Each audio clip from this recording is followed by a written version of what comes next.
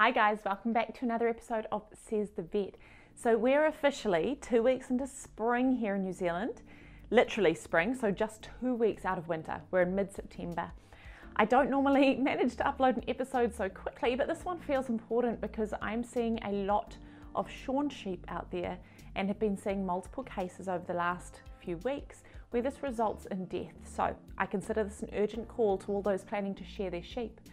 Please understand why you're doing it and when to do it. It all comes from good intentions, but let's just get some education circling and try and stop these cases from snowballing. So, why do we shear in winter? Well, there are reasons. There's definitely benefits, and lots of people do do this to keep lice burdens low. So, those are external parasites. Um, they thrive during winter. That's a wintertime issue, and they won't thrive on short wool because the lice get cold. So, that's one reason people do it. Um, we can also see it help heavily pregnant ewes that are carrying multiple lambs, twins or triplets coming into spring. We can see heavier lamb birth weights as well from those twins and triplets, which obviously will give them a better chance of survival as well. And the third reason is that it just kind of keeps the wool better quality, which to be honest is not a reason really here in New Zealand unless you're shearing for high value fibre. Um, but wool is hardly a big money maker these days and really doesn't apply much on lifestyle blocks. So why are we seeing these deaths if it's, if it's something that is acceptable to do? Winter shearing is very stressful on anyone who's not well conditioned, anyone who does not have ample feed supply, who does not have good shelter, good shelter. If you are going to do a winter shear, you need to shear them, and this is really key, you need to shear them between days 50 and 100 of pregnancy, right? So normal gestation in sheep is about 150 days, give or take a few. If you do it too early, they may lose the pregnancy from stress, but mum will still be fine. You'll just see less lambs being born. The big issue is doing it too late. Guys, you cannot go out and whack a heavy fleece off a mum in late pregnancy in the wet and the cold and expect her to deal okay with that. If you do do a winter shear, her feed requirements are going to go up by up to 30% just to stay warm. Now, take into account here that 70% of that lamb growth inside her is going to occur in the last six weeks of pregnancy. It really skyrockets how big those lambs are getting right at the end.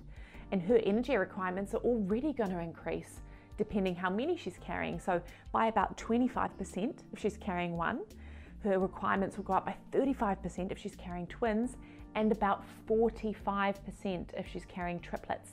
That's a massive ask and then another 30% on top of that just to stay warm, you can see how this adds a lot of stress.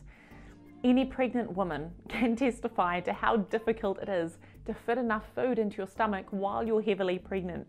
Every bite of food is a decision between eating or breathing.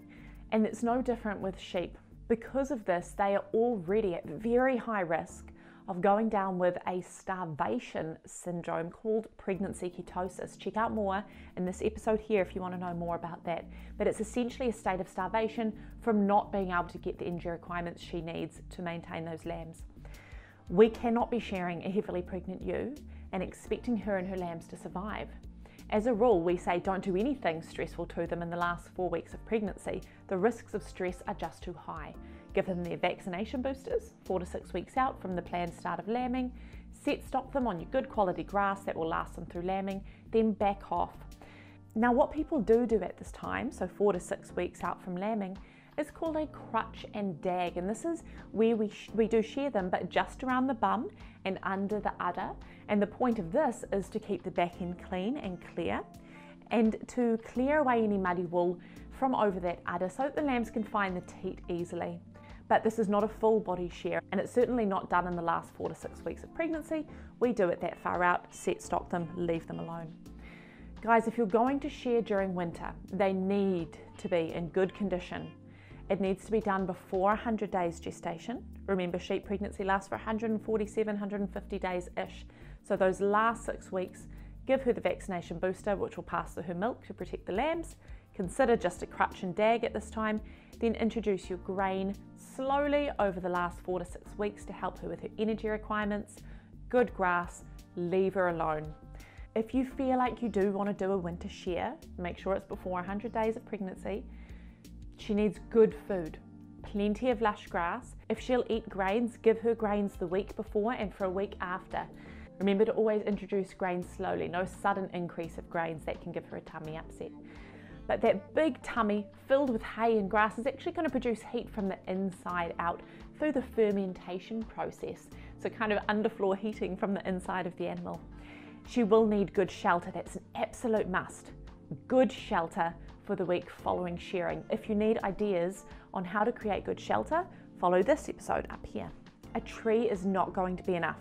She needs to be able to get out of the wind and the rain. That chill factor can be really intense. And please, guys, watch the weather forecast. Plan it for when it looks like we have a nice long spell of good weather. It's going to take her about five to seven days to acclimatize. Okay. Finally, if you're going to do a winter shear, stagger the shearing so that we don't have the whole flock at risk at once. Now, on the flip side of lambing, guys, so let's imagine that they've already had those lambs. Please don't be shearing them when they have young lambs on them.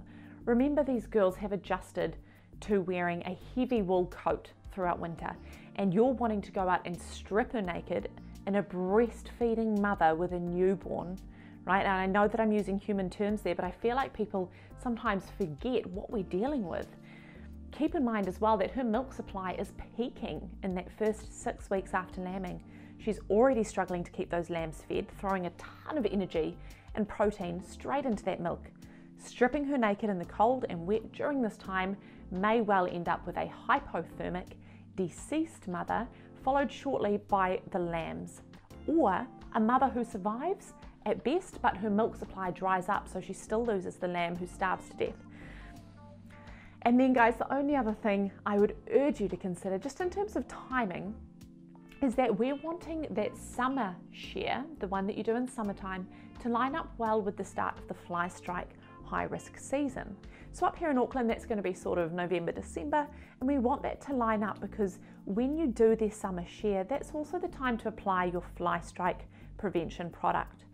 There are a few to choose from, but most of them tend to be applied after shearing when the wool is nice and short and oily to distribute across the body and last the full length of time on the label. Ideally, protection up to about three months, but make sure you check the label for what to expect. If you're shearing them too early, it's just going to get a bit messy. It's maybe going to end up more labour intensive than necessary. You'll need top up fly strike treatments. You might see breakthrough disease, even though you've you have applied that product, but it's not lasting as long as it should. So just consider that it's just a logistics thing. So just to reiterate, there are production benefits to a winter shear if that's what your goals are. Just make sure you do it for the right reasons, guys. And watch that she has food, shelter, do it at the right time. Watch the weather forecast. Don't end up with another casualty with mass deaths on your hands. Okay, guys, I'm to leave it there. If you haven't already, subscribe, thumbs up, and comment to let me know what's working and what's not on the episodes. Any suggestions for topics are always welcome. I'll see you for the next one. Bye bye.